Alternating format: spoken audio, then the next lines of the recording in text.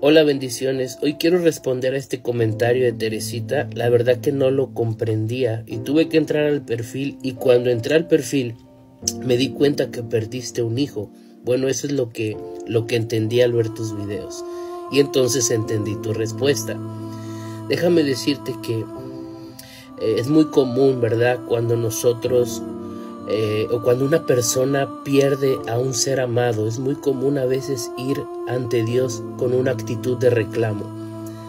Es muy común a veces ver eh, personas que van ante Dios y le dicen, Dios, ¿por qué no lo sanaste? ¿Por qué no lo libraste? ¿Por qué no impediste su muerte?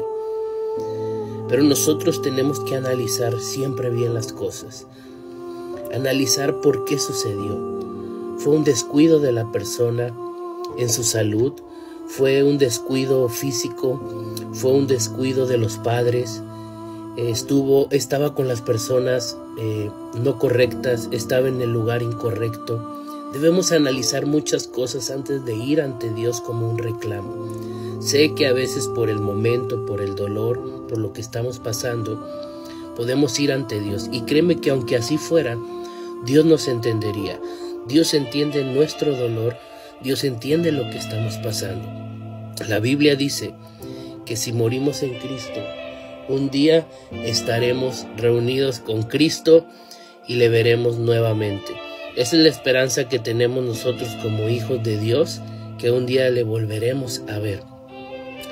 Lo que puedo aconsejar es que busques a Dios. La palabra de Dios dice que Dios puede consolarnos, que en Dios encontramos consuelo para todo lo que que estemos pasando. Así sea el dolor más fuerte que hayas sentido en tu vida, Dios puede consolarte.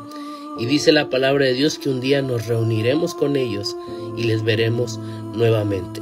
Esa es la esperanza que tenemos nosotros en Cristo de que un día les volveremos a ver. Así que si tú has perdido a una persona que has amado mucho en esta vida, ten la fe y la esperanza de que le volverás a ver.